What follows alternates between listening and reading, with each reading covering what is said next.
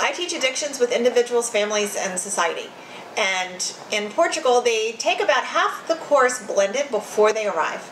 This affords us the opportunity to use class time to go out and do field visits, where we meet with SICAD, which is the government entity in charge of the decriminalization legislation.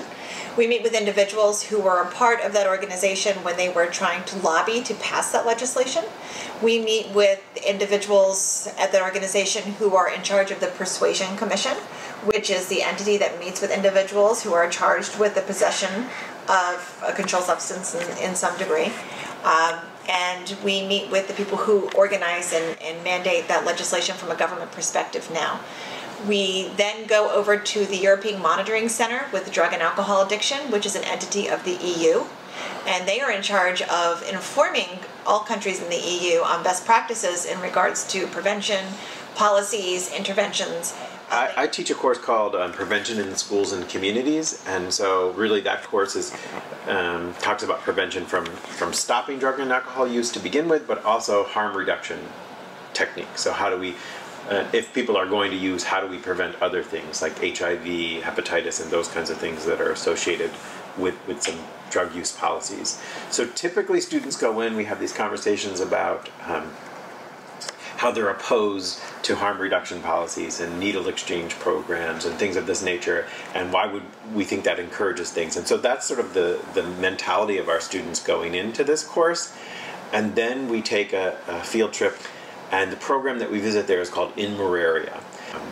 That becomes a really powerful visit because we go to the neighborhood, we walk through, we meet with the officials there, they, they explain to us, they let students touch and hold drug paraphernalia, they often see drug use on the way to the place. So it's a, it's a really sort of visceral experience for many.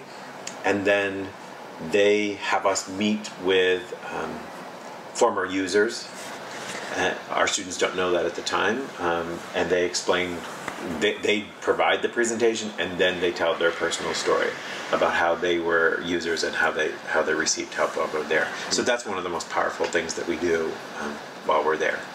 In the dissuasion commissions, when people are, are caught with a charge of a possession of a substance, are still optional. They they invite them to come three different times. If they don't show up all three different times to their appointment with the dissuasion commission, then they're provided with a fine.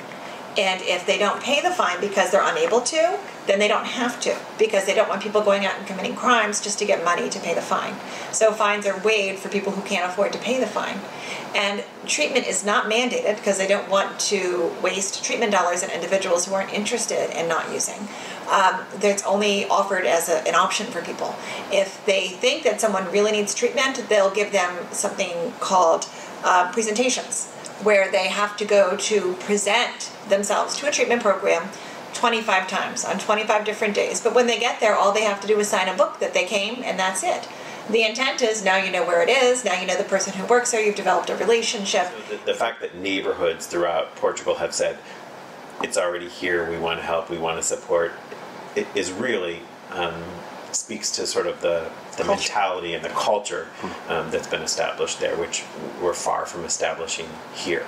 And our students have to write reaction papers, and by the time they're done with the, these series of courses there, they're like, wow, I think about this differently. I, I, I, you know, and that's the goal. So, the most recent reports, it shows that Portuguese youth rates are one of the lowest in all of Europe. Looks like about six percent. This is marijuana use specifically. It looks mm-hmm. like about six percent of youth, but when you compare that to Italy, which is about twenty-two percent of youth, or Denmark, which is about 19% of youth, Germany, which is about 15%.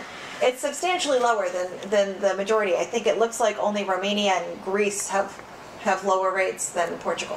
When I teach the same course here in the United States, students are required to go to an NA or AA meeting so they can experience that process and write a reflection of, of what that meant for them and how they perceived that to be effective or not in, in helping someone sustain their recovery. So when I inquired uh, with the individuals who work with the treatment programs about this, uh, and with the SICAD organization and the Dissuasion Commission. They said that only about 10% of the people who get caught with the possession and brought before the Dissuasion Commission are identified as someone who has a substance use disorder. Um, and the definition of recovery is different. And it's not required that you become abstinent and never use again, but rather that your use becomes something that is not negatively affecting your life and the life of others. So I was a, I was a, a believer in this approach um, from a cognitive perspective, right? Because I because I read the literature and I know what's happening, but in the same way that the students are believers, now now I'm a believer because I've, I've been there, I've seen it, and I've seen it work firsthand. So you can read all the journal articles you want, but until you you sort of experience it firsthand and talk to um, you know former users about their experiences and the way they were treated with, with dignity, that that is really impactful. I get a, a really deep sense of satisfaction from being able to bring students over there who frequently aren't even receptive to a harm reduction model, let alone redefining recovery to be something that an individual can define for themselves. Uh, and and being able to get behind the process of decriminalization, to to grow the number of individuals who are in the field treating those who suffer from addiction, to be able to embrace this perspective and these policies is so gratifying.